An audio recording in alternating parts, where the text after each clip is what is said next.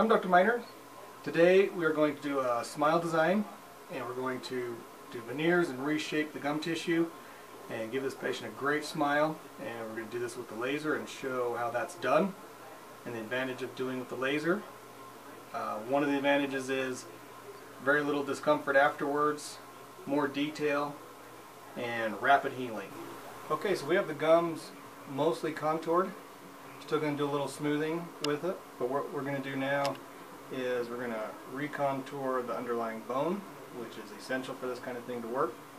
Um, the nice thing with the laser is with the tip, I can mark the exact distance we need to be from the gum line.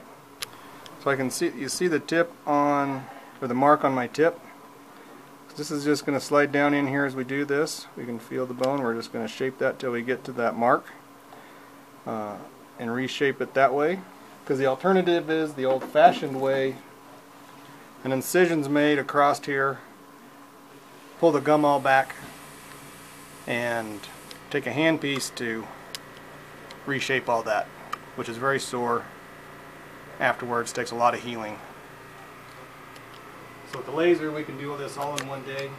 Typically, when you shape the gums like this, the old-fashioned way, you have to wait a couple months for everything to heal. This way, with the laser, we can shape shape the gums, do the veneers all in one time.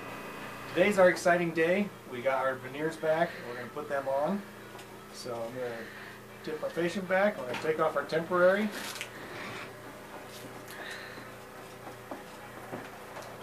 Again.